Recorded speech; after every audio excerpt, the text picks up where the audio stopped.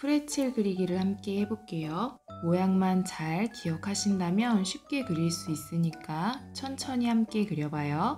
먼저 하트를 하나 그려주세요. 끝이 조금 둥근 모양이어야 조금 더 프레첼 또는 프레즐이라고 부르는 맛있는 디저트와 모양이 비슷할 수 있어요. 이렇게 하트를 그려주신 뒤에 이제부터는 반원을 그려줄 거예요. 반원은 반절짜리 원을 말해요.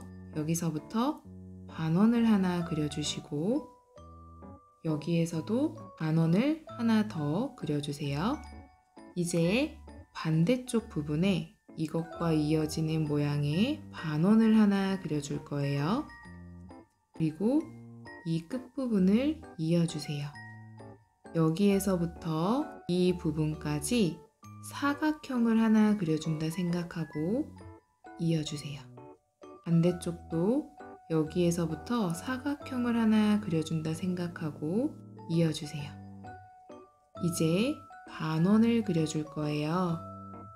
쭉 이어서 닿는 곳은 살짝 떼고 반원을 그려주시고 반대쪽에도 반원을 이어서 그려주세요.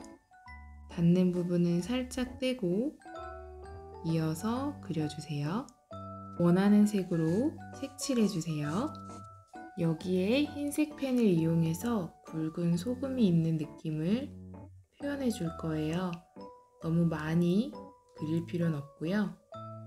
한 곳에 두세 개 정도의 점만 콕콕 찍어주시면 조금 더 실감나는 프레첼, 프레즈를 완성하실 수 있어요. 이렇게 하면 완성이에요.